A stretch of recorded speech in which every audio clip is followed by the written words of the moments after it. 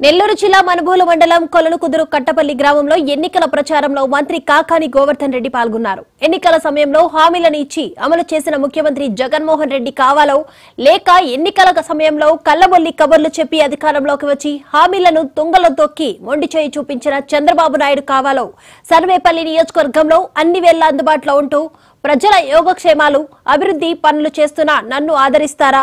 ఓట్లు వచ్చిన సమయంలో వచ్చి తర్వాత కనపడని సోమిరెడ్డి కావాలో ఓటర్లు ఆలోచించి నిర్ణయం తీసుకోవాలని కాకాని అన్నారు.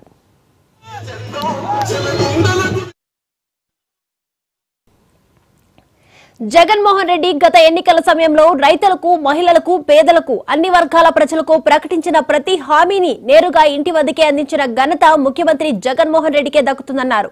నేడు ఎన్నికల సమయంలో మతతత్వం బీజేపీ జనసేనతో కలిసి చంద్రబాబు పోటీ చేస్తూ వైసీపీతో పోటీ చేస్తున్నారని వారందరినీ తరిమి కొట్టి మళ్ళీ వైసీపీని అధికారంలోకి తీసుకురావాలని ముఖ్యమంత్రిగా జగన్మోహన్ రెడ్డిని పీఠం ఎక్కించాలని కోరారు. ఎప్పుడైనా కరోనా కష్టకాలంలో సోమిరెడ్డి అనేటువంటి వ్యక్తి ఒకడు ఉన్నాడు అని చెప్పి ఎవరన్నా గుర్తించారా?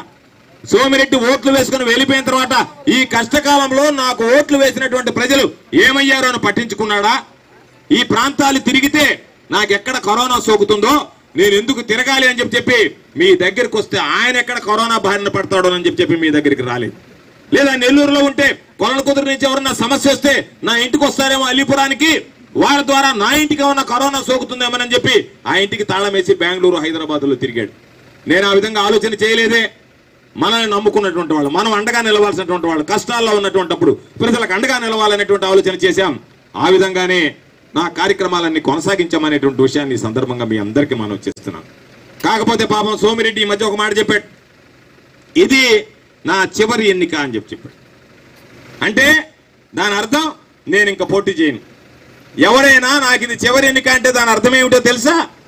మీరు ఒక్కసారి ఓటేస్తే ఇంకా మీకు నాకు సంబంధం లేదని చెప్తాను రేపు మీకు సమస్య ఉంటే మీరు ఒక్కసారి ఓటేయించుకుని చివరిసారి వెళ్ళిపోయేటువంటి ఆయన దగ్గరికి మీరు వెళ్ళి అడిగితే ఎందుకు సమాధానం చెప్తాడు? ఎందుకు మీ పని చేస్తాడు? ఆయన ఏ ఉద్దేశం ఏమిటి?